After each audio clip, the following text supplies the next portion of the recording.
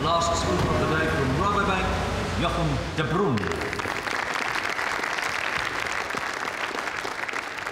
Rabo- Rabobank is a cooperative bank which was established in the late 19th century by farmers. We are, we are a bank with principles, so at Rabobank it's not all about making a profit.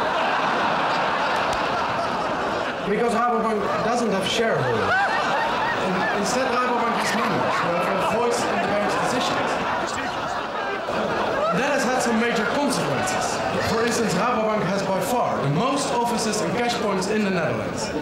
In addition, we're Netherlands' largest mortgager. We were also elected the best wholesale bank in the Netherlands and are the largest internet bank of Europe. And we are the only private bank in the world to have been awarded a triple A rating.